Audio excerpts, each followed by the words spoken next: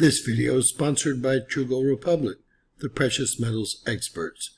Talk to one of their experts today about diversifying your portfolio to help assure your future financial security. Find their contact information in the description below and pinned in our first comment.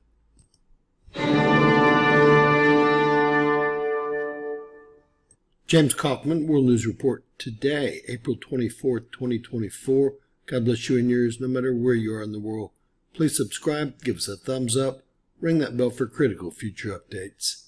FBI Director Wray again warns of potential terror attack in the U.S. Quote, it could be not that different from the concert attack in Russia, end quote.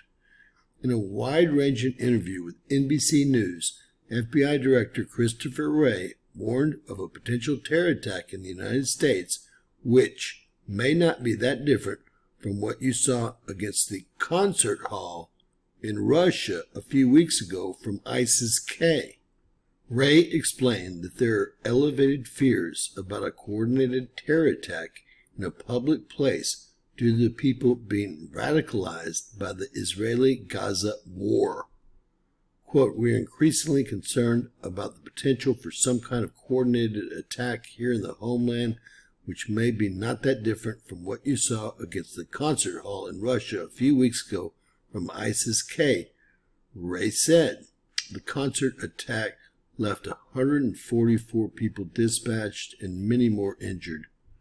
Regarding protests on American college campuses, Wray said the FBI is keenly focused on working with state and local law enforcement, campus law enforcement, and others to try to make sure that we stay ahead of the threat of any anti Semitic violence and prevent violence against the Jewish community.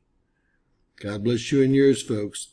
Usually, if they warn you about something, it's about to happen.